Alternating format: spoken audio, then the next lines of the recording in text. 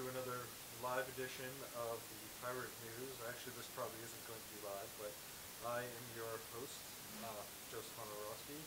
Uh, I am the quartermaster of the Pirate Party, and I actually get to be live with these fine folks here. Guys, if you can introduce yourselves and go. Uh, I'm James. I'm uh, captain of the Massachusetts Pirate Party. I am Christine. I'm the Swarmwise Director for the Massachusetts Pirate Party. Uh, my name is Steve. I'm the first officer, and uh, briefly, who you saw was me. And- My dog. Yes. So one of the biggest things we want to talk to you about and the reason why we got together is because one of the fundamental principles we talk about and on we practice and preach is something called true democracy. Um, and really, so defining true democracy, how would you define that? Not the current system. It's a republic, right? But uh, what is true democracy? True democracy is when people have control over the decisions that affect their lives. Um, that could be from government uh, in their community and decisions that are made in terms of where to put roads or how much to fund schools, or whether that includes in their workplace in terms of what what products the company is going to create and how jobs are going to be structured, um, and in, individually in their own lives as well. So, I mean, you could say a true democracy is where everyone has a choice, for example. Uh, what would be a, a choice that matters. We all have lots of choices between Coke and Pepsi, but they're not choices that matter. They're not choices about people's individual lives.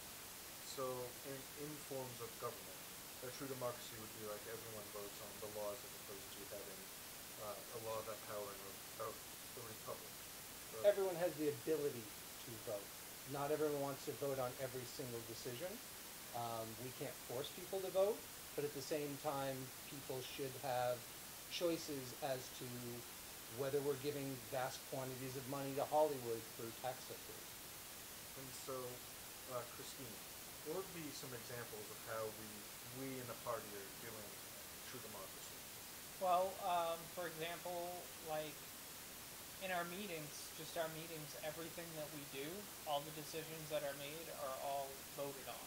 Um, so we really, from you know, from the core of the party, uh, we practice what we preach, and uh, you know, everything that's done through the party, um, it's all voted on um, by officers, but also, you know, other people who are supporters as well are, are welcome to um, vote, attend meetings and things attend like- meetings, things like that, and we got some upcoming events we're gonna cover as well.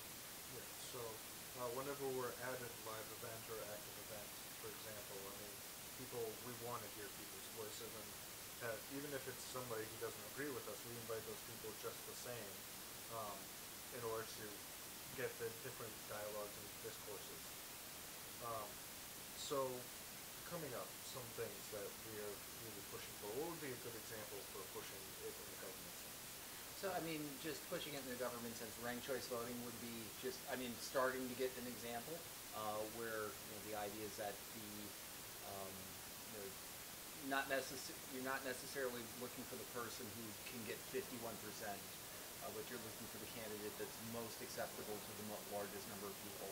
I mean, one of the things about um, you know, a pure democracy is uh, that I kind of find interesting, and um, you know, I, I think it sort of comes with the territory, is that you can't look at government as something that's a service that's provided to you, or it's just it's somebody else's job to do it, and you know maybe I like it, maybe I don't. It, it requires a little more engagement, and it also requires that people have the resources to be engaged. Um, and I, I think getting to that step will be, you know, getting to that point will be steps forward. So essentially, uh, citizen uh, service guarantees citizenship. Yes. Um, I think that it's a very old saying, but I mean it's it goes back into making sure that everyone is informed, everyone is actively partaking in in what the structure of their lives the rules that are set down. Everyone has skin in the game, so to speak.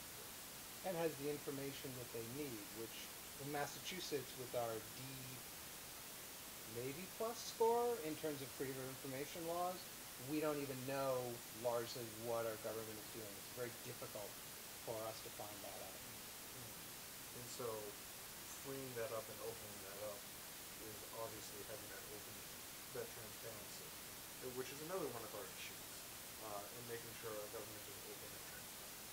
Um, so are there any other examples that we can partake, say, less in the government, more in a personal sense of sort of like true democracy? Well, I mean, I've talked about in terms of your workplace, Yep. um, being able to have control over uh, the nature of your job as well as the products that your company is making. Um, you know, we support workplace cooperatives where the workers control the business and they make the decisions. It's their lives, it's their effort, it's their labor. They should control that. They should have uh, decision-making power over it. Good. So making more cooperatives and stuff like that. Um, so less, less corporations with shadowy figures making all the decisions in the background and being able to actually take an active part in what we do. Yeah, it's not so much the, the shadowy corporations in the background, but it's it's a structure where um, you know instead of things instead of things flowing from the top down, it would be nice to have a little to have more going in the other direction. So, uh, so how you guys can take part in this, uh, you think we, we have a couple actual leading and live events coming up, um, every Wednesday. Right, every Wednesday is our uh, instant, uh, is our um, IRC. um, Intranet relay chat. Ah, Internet Relay Chat, yeah, sorry. Uh, is our IRC meeting every Wednesday at uh, 9 p.m. Uh, Eastern Time. You can go to masspirates.org, and look on the sidebar, and uh, there's details about how to participate. We encourage all supporters, all members to join us and help in helping making decisions. Uh, we're not this little cabal of pirates. You know, if we look at the pirates uh, of 200 years ago, they democratically elected their um, quartermaster, their captain. They made all the decisions. We believe that as well. keeping this true to true to its heart. Um, those who are trying to make things happen are, are elected by everyone in the party, not just not just by a small group. And they have to stand there to be able to say why they would be able to do that good. Um, that being said, we also have a couple other events coming up too that we'd love to see you at. Sure. I mean, so uh, this Tuesday at Industry Labs from 7 to 9 is uh, the Massachusetts Mesh Network. And um, they're trying to build a community-controlled internet, uh, an internet service provider, and folks can join those weekly meetings.